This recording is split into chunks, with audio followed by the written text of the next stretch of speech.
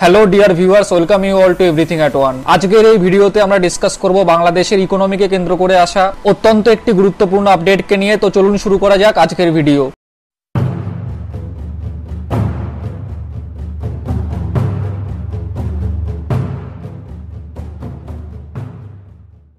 Dear viewers দশই থেকে পনেরোই ডিসেম্বরের মধ্যে একটি মাইল ফলক স্পর্শ করবে স্বপ্নের পদ্মা সেতু। ওই দিনই শতভাগ দৃশ্যমান হবে মূল সেতু। ছয় দশমিক পনেরো কিলোমিটার এই সেতুর সর্বশেষ স্প্যান ওই সময় বসবে মুন্সীগঞ্জের মাওয়া প্রান্তে। এর মধ্যে দিয়ে পদ্মার এপার ওপার সংযোগ স্থাপনের প্রথম পর্বের সমাপ্তি ঘটবে। শেষ স্প্যান বসানোর দিনে উপস্থিত থাকবেন বাংলাদেশের সরকারের সড়ক পরিবহন এবং সেতুমন্ত্রী ওবায়দুল কাদের। দু হাজার একুশ সালের ডিসেম্বরে স্বাধীনতার সুবর্ণ জয়ন্তীতে যান চলাচলের জন্য পদ্মা সেতু খুলে দেওয়ার লক্ষ্য সামনে রেখেই ক্রমেই দ্রুতগতিতে এগিয়ে যাচ্ছে সেতুর কাজ। ইতিমধ্যে সেতুর সড়ক এবং রেল অংশের স্ল্যাব বসানোর কাজও এগিয়েছে অনেক দূর। সর্বশেষ স্প্যান বসানোর পর এই কাজে আরও গতি আসবে। একই সঙ্গে চলবে সেতুর দুই প্রান্তে সংযোগ সড়ক নির্মাণের কাজও। পদ্মা সেতু প্রকল্প সূত্রে এসব তথ্য জানা গেছে। নানা চড়াই উতরাই পেরিয়ে দুর্নীতি অনিয়মের অভিযোগকে পিছনে ফেলে দু সালের বারোই ডিসেম্বর যে স্বপ্নের বীজ বোনা হয়েছিল, পদ্মার পারে সেই স্বপ্ন এখন একেবারে তীরে ভেরার অপেক্ষায়। আর মাত্র কয়েকটা মাস অপেক্ষা স্থাপন হবে উন্নয়নের মাইল ফলক। তারপরই স্বপ্ন উঠবে পদ্মার এপার ওপার। উল্লাস আর উচ্ছ্বাসে মেতে উঠবে গোটা জাতি।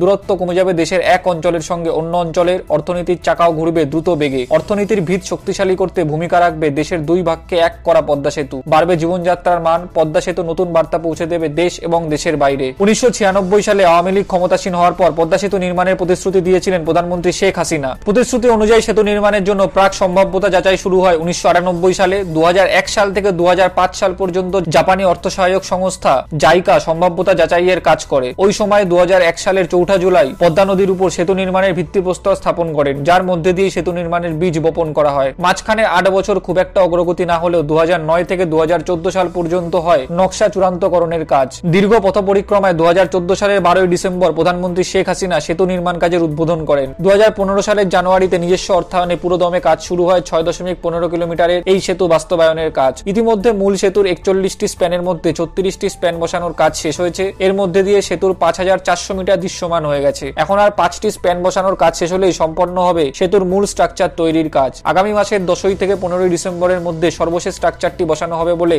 সেতু বিভাগ এবং পদ্মা সেতু প্রকল্প সড়ক পরিবহন এবং সেতু মন্ত্রী। প্রকল্প সূত্রে জানা গেছে, পদ্মা সেতু প্রকল্প প্যান বসানোর পাশাপাশি সেতুর উপরের অংশে চার লেন সড়কের স্ল্যাব বসানো হচ্ছে, নিচের অংশে বসানো হচ্ছে রেল লাইনের স্ল্যাব। সেতুর জাজিরা প্রান্ত থেকে সড়ক এবং রেলপথের স্ল্যাব বসানো শুরু হয়েছিল গত বছরের শেষের দিকে। এখন স্ল্যাব বসানোর কাজ সেতুর মাঝামাঝি অংশে চলে এসছে। দেশি বিদেশি শ্রমিকরা ভারী যন্ত্রপাতির মাধ্যমে সকাল থেকে সন্ধ্যা পর্যন্ত সমানে স্ল্যাব বসানোর কাজ করছেন। প্যান বসানোর কাজ শতভাগ শেষ হওয়ার সঙ্গে সঙ্গে স্ল্যাব বসানোর কাজ আরও দ্রুত গতিতে এগিয়ে চলবে। উপরে চার লেন সড়কের বিপরীতে নিচ দিয়ে চলবে দোতলা ট্রেন। সেতুর রেলপথে বসবে মোট দু স্ল্যাব, যার সবগুলো ইতিমধ্যে প্রস্তুত করা হয়ে গেছে। এর মধ্যে গতকাল বসানো হয়েছে এক হাজার ছশো একাশিটি। এই স্ল্যাবের উপর রেলের পাটাতন এবং রেল লাইন বসানোর কাজও চলছে। অন্যদিকে সেতুর উপরে সড়ক ভাগে স্ল্যাব বসবে মোট দু এর মধ্যে এক হাজার একশো উননব্বইটি স্ল্যাব বসানো হয়েছে। প্রকল্প সূত্র জানিয়েছে, আগামী দু হাজার একুশ সালের তিরিশে জুনের মধ্যে পদ্মা সেতু প্রকল্পের সড়ক অংশের কাজ পুরোপুরি শেষ হয়ে যাবে। স্বাধীনতার সুবর্ণ জয়ন্তী অর্থাৎ আগামী বছরের ডিসেম্বরের মধ্যেই মূল সেতুর কাজ শেষ হবে এবং যান চলাচলের জন্য খুলে দেওয়া যাবে। তো এই ছিল আজকের এই পুরো ভিডিও। আপনাদের যদি এই ভিডিওটা ভালো লেগে থাকে, তাহলে এই ভিডিওটাকে লাইক করুন,